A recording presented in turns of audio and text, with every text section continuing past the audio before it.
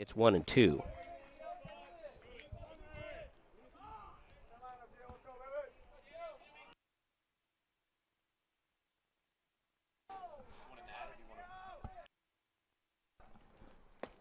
Misses just downstairs. It's two and two.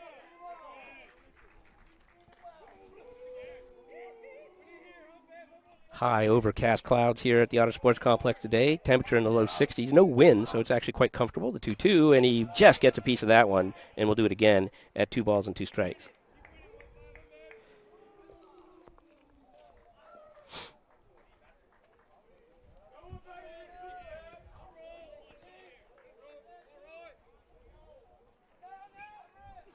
Next pitch is tapped softly outside of first base. We'll do it again at two and two.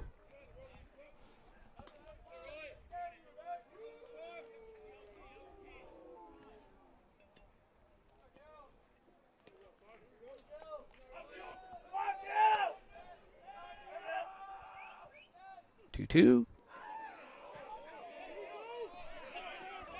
They say he went strike three.